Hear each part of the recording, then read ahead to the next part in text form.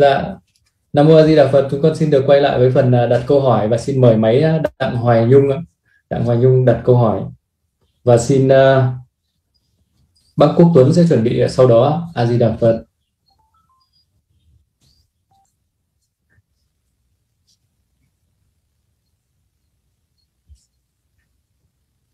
Dạ xin chị dạ a di đà phật. Con kính thưa lão cư sĩ diệu âm con có câu hỏi hỏi dùm bạn đồng tu à đạo tràng con có kết nhóm cộng tu một tuần hai ngày.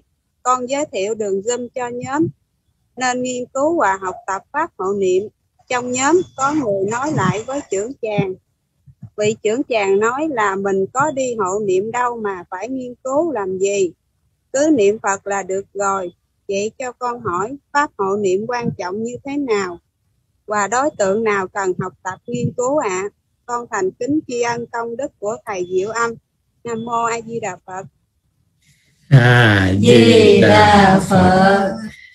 Bây giờ mình năn nỉ cái những vị này mà lên giúp thường đi rồi thì thấy mỗi lần lên hình như là chúng ta sẽ có một cái niềm tin vững hơn và thấy hình như mỗi ngày mỗi sâu sắc hơn. Mà dâm thường hay nói là giống như mưa lâu thấm đất mình đừng tưởng những cơn mưa đó mình từ chối đi. Nếu mình từ chối, mình lấy gì mình che lại thì cái miếng đất của mình nó cằn cỗi lắm, nó khô khan lắm. Giống như chưa bị mày khi đi xem đá banh này, mấy người đá banh mà mấy cầu thủ đá banh người ta tập dữ lắm. Tập hàng ngày. Họ tập hàng ngày như vậy thì người ta đá banh mới tốt cũng giống như mấy ông võ sĩ vậy. Võ sĩ người ta tập hàng ngày. Cũng là như vậy mà càng tập thì người ta đánh càng hay. Mình hộ niệm cũng vậy đấy. Nếu mà mình tham gia, học hỏi với nhau, thì tự nhiên mình hộ niệm càng hay lên. Xin thưa với chư vị, hay hay dở, nó không phải là ở cái chỗ mình tài giỏi hơn người ta đâu. Mà ở cái chỗ là cái tâm mình thành. Lên mình thấy bao nhiêu người đồng tu tham gia, bao nhiêu người niệm phật, bao nhiêu người hoan hỷ. Tự nhiên tâm mình cũng hoan hỷ và tự nhiên cái tâm thành của mình cũng từ đó mà phát triển thêm ra. Khi cái lòng chi thành chi kính của mình phát triển ra thì tự nhiên cái vấn đề hộ niệm của mình có thành tựu tốt lắm đó chư vị đừng bao giờ nghĩ là à hộ niệm có gì đâu mà tham gia. Chư vị cứ để ý coi, những người chế rằng là hộ niệm có gì đâu mà học hỏi, thường thường người ta hộ niệm. Chục người thì kiếm được nửa người, được được. Nói chung là một trăm người thì đâu được một người, hai người, được được, còn với như thất bại hết. Nó thất bại là do ở chỗ chính mình không có cái tâm học hỏi khi không có cái tâm học hỏi thì cái tâm thượng mạng thường thường ứng hiện ra. Mà theo như Phật nói, thượng mạng chính là cái sự thất bại lớn nhất của đời người.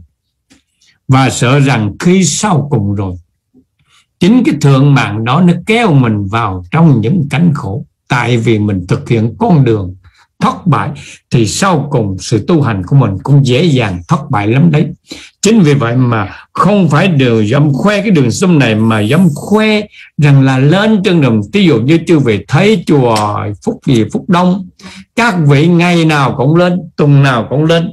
Phải không? Cái chư vị chùa phúc đông, tự nhiên mình thấy các vị này có cái tâm thành.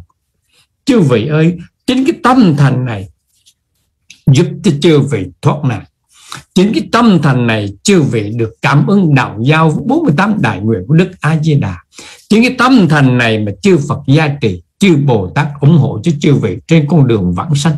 Nhớ nhé, còn nếu chúng ta ý y chỉ có một niệm ý y thường thường thiếu mất phần bảo vệ của chư hộ pháp đấy.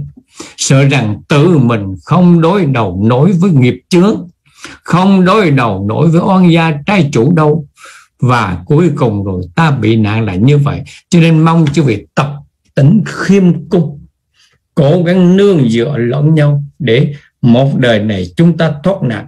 Chứ trước đây chúng ta khó tìm ra người thoát nạn lắm đấy nhé.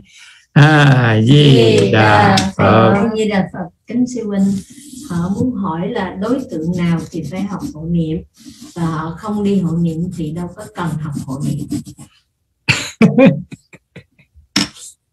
nó nằm ở trong cái chỗ là tự cao đấy.